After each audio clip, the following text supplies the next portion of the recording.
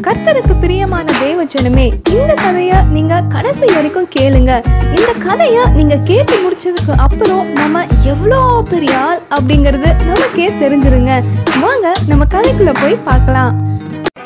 ஒரு ஊர்ல ஒருத்தர் இருந்தாரு. அவருக்கு குகை குகையா போய் தேடி அந்த குகைக்குள்ள என்ன பழமையான பொருட்கள் இருக்கு அப்படின்னு கண்டுபிடிக்கிறது தாங்க வேலையே. அதே போல அவர் அன்னைக்கு ஒரு அடர்ந்த காட்டு பகுதிக்குள்ள இருக்க ஒரு குகைக்கு போனாரு. அந்த குகைக்குள்ள என்ன இருக்கு அப்படின்னு பாக்குறதுக்காக போனாரு. அந்த குகையை சுத்தி முத்தியும் தேடி தேடி பாக்குறாரு. அந்த குகையில ஏதாவது நமக்கு கிடைக்குமா? ஏதாவது பொருள் கிடைக்குமா? அப்படின்னு தேடிக்கிட்டே இருந்தாரு. அப்படி தேடிக்கிட்டே இருந்தவருக்கு ஒரு பை ஒன்று கிடைச்சது. அது என்ன பை? அப்படின்னு சொல்லி யோசிக்கிறீங்களா? அந்த பையன் அவர் எடுத்துட்டு அப்படியே கடற்கரை ஓரமாக போயிட்டாரு. என்ன காட்டு பகுதிங்கிறீங்க? கடற்கரைங்கிறீங்க? அப்படின்னு சொல்லி யோசிக்காதீங்க. அந்த பகுதி எப்படின்னா கடற்கரையை ஒட்டின ஒரு காட்டு பகுதி. அந்த காட்டு பகுதியில தான் அவர் போய் அந்த குகையில தேடிக்கிட்டு இருந்தாரு. தேடினவருக்கு தான் அந்த ஒரு பை ஒன்று கிடைச்சது. இந்த பையை தூக்கிட்டு அவர் கடற்கரை ஓரமாக வந்து உக்காந்துட்டாரு. அந்த பையை திறந்து பார்த்தா விதை பந்துகள் போல களிமண்ணால் செய்யப்பட்ட நிறைய பந்துகள் அந்த பைக்குள்ளே இருந்துச்சு. இது என்ன பார்க்க மண் உருண்ட மாதிரியே இருக்கே. இந்த மண் உருண்டை வச்சுட்டு நம்ம என்ன பண்ண போகிறோம் பேசாமல் இதையே அப்படியே கடலை தூக்கி வீசி விளையாடுவோம் அப்படின்னு சொல்லி அவர் போட ஆரம்பித்தார் நம்ம எல்லாருமே என்ன பண்ணுவோம்னா கடற்கரைக்கு போனதும் சின்ன சின்ன கல்லெல்லாம் எடுத்துக்கிட்டு நம்ம நண்பர்கள் கூட போட்டி போட்டுக்கிட்டு நீ தூரமாக வீசுவியா? நான் தூரமாக தூரமாக வீசுவனா அப்படின்னு நம்ம தூரமாக வீசி வீசி விளையாடுவோம். யார் தூரமாக வீசுகிறாங்களோ அவங்க ஜெயிச்சவங்களான்னு வச்சு நம்ம விளையாடிக்கிட்டு இருப்போம். அது போல தான் அவர் என்ன பண்ணாருன்னா ஓ இந்த பந்து இவ்வளோ தூரத்தில் விழுந்துச்சா? சரி அடுத்த பந்து அதை விட தூரமாக விழுந்துச்சா? இல்லை பக்கத்தில் விழுந்துச்சா? அப்படின்னு அந்த பந்துகளை அவர் கடலில் வீசி வீசி விளையாடிக்கிட்டு இருந்தாரு. அவர் இப்படியே ஒரு ஒரு மண்ணுருண்டையா எடுத்து தண்ணிக்குள்ள வீசி வீசி விளையாடிக்கிட்டே இருந்தாருங்க. அவர் விளையாடிக்கிட்டே இருக்கும்போது அவர் கையில இருந்த ஒரு மண்ணுருண்டை கீழே விழுந்துருச்சு. அது கீழே விழுந்த உடனே பட் அப்படின்னு சத்தம் கேட்டதுங்க. நம்ம மண்ணுருண்டை எங்க போய் பட்டுன்னுலாம் சத்தம் கேட்க போகுது. அதே வெறும் மண்ணுருண்டை தானே அப்படின்னு அவர் யோசிச்சுட்டு இருந்தாரு. நம்ம மண்ணுருண்டையா இருந்தாலும் இருக்கலாமோ அப்படின்னு யோசிச்சுட்டு கீழே பார்த்தாருங்க.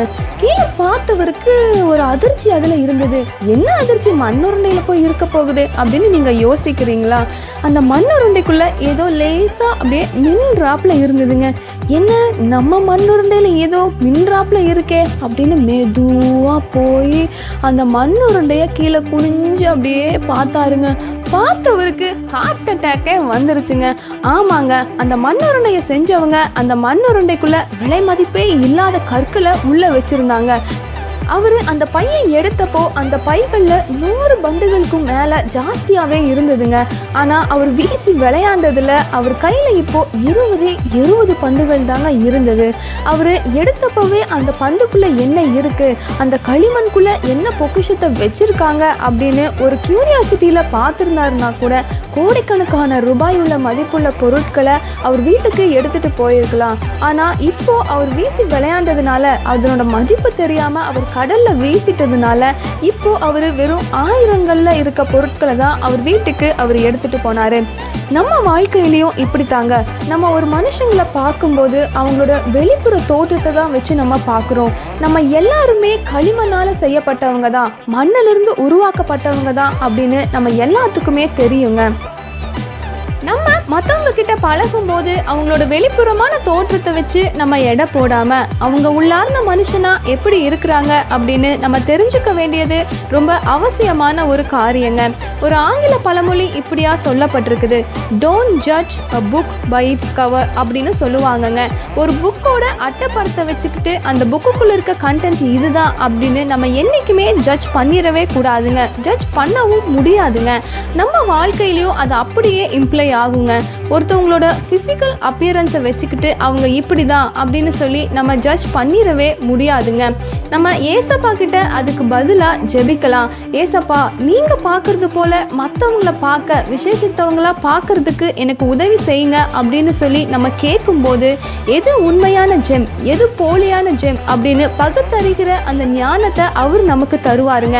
அவர் பார்க்குறது போல் நம்ம பார்க்கும்போது அந்த வெளியில் இருக்க அந்த களிமண் பாத்திரங்கள் எல்லாம் போயிட்டு போயிட்டு அவங்க உள்ளுக்குள்ள எப்படி இருக்கிறாங்க எப்படி ஷைன் ஆகுறாங்க எப்படி பிரில்லியண்ட்டாக இருக்கிறாங்க அப்படின்னு நம்மளால ஈஸியாக தெரிஞ்சுக்க முடியுங்க. ஏசப்பாவோட ஒரு வார்த்தை சொல்லுது நீ என்னை தெரிந்து கொள்ளவில்லை நான் உன்னை தெரிந்து கொண்டேன் அப்படின்னு சொல்லி சொல்றாரு. வானத்தையும் பூமியும் படைச்சவர் சர்வ வல்லமையுள்ள தேவனாகிய கர்த்தர். அவர் சொன்னா எல்லாமே அடங்குங்க. அப்படிப்பட்ட தெய்வம் நம்மளை பார்த்து சொல்றாரு நான் உன்னை தெரிஞ்சுக்கிட்டேன் அப்படின்னு சொல்லி அவரோட பொக்கிஷத்தை நமக்குள்ள அவர் வச்சிருக்கிறாருங்க. எவ்வளவு ஒரு விசேஷமான ஒரு காரியம் பாருங்க. அந்த சர்வ வல்லமையுள்ள தெய்வம் இன்னைக்கு உங்களை பார்த்து சொல்றாருங்க.